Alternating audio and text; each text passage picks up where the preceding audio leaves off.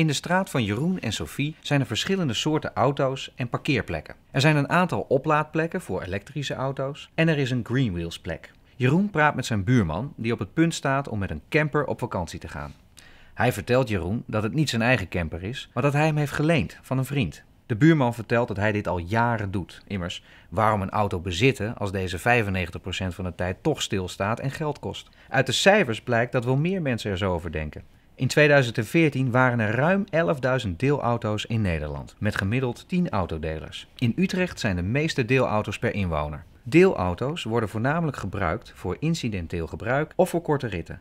De autodeler maakt 15% meer gebruik van de fiets, 20% meer gebruik van het OV en 25% minder gebruik van de auto dan een autobezitter. Sophie is erg blij met de nabijgelegen Greenwheels plek. Ze boekt de auto regelmatig via een app op haar smartphone om naar haar afspraken te gaan. Zo ook vandaag. Intussen zit Jeroen in een espresso-werkplek sollicitatiebrieven te schrijven op zijn laptop. Na Sophie's afspraak zet ze de Greenwheels auto weer terug op zijn plek.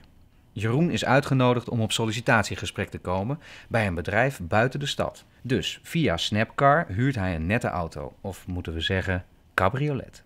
Autodelen is een typisch grootstedelijk gebruik. In hoogstedelijke gebieden zijn er 120 deelauto's per 100.000 inwoners. Een aantal dat sinds 2012 is verzesvoudigd. In niet-stedelijke gebieden zijn deelauto's zeldzaam. Autobezit en onbekendheid met het systeem zijn de meest genoemde redenen om niet te delen. Jeroen krijgt de baan. Hij is blij, maar hij had niet stilgestaan bij het woon-werkverkeer.